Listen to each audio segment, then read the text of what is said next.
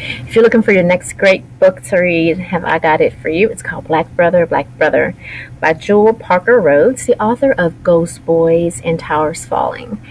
This book is about two brothers who are, no, they're not twins, but two brothers who are biracial who actually look very, very different from each other.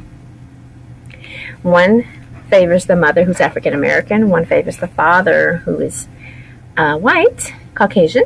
And what happens is the boy, the younger brother, um, who looks more black, kind of gets bullied at school.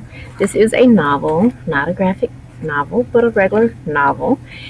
Um, and he gets bullied at school, whereas his older brother does not. And he's discriminated against and he's treated unjustly by not just the students but the administrators at his private school.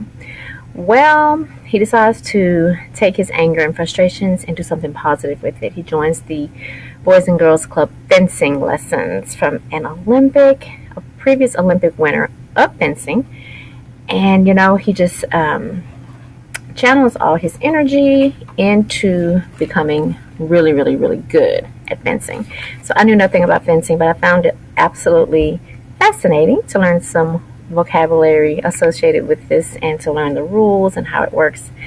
And so, in the end, it's a very inspirational book. Uh, our protagonist uh, becomes a hero of sorts. So, I do highly suggest it. It is on the Texas Bluebonnet Award nominee list for 2021 22. So I suggest you read it. You will not regret it. A wonderful addition to Miss Rhodes' um, collection of books for young readers. Check it out.